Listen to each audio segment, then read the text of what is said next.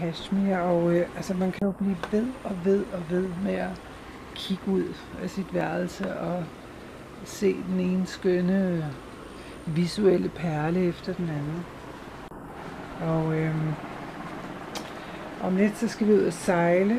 Øh, det her det er, det er sådan øh, værelsesindretningen, øh, og øh, ja, det bliver jo svært at, at tjekke ind på Paradise Motel eller et andet hotel i fremtiden øh, efter den her oplevelse. Og øh, her er så smukt. Det er øh, jamen, alt er håndskåret og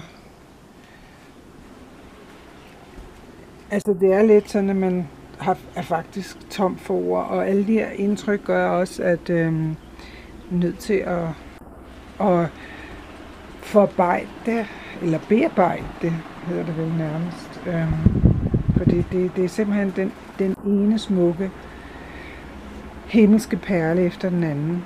Men øh, det her, hvor jeg skal overnatte et døgns tid, og øh, dagene er spækket med oplevelser.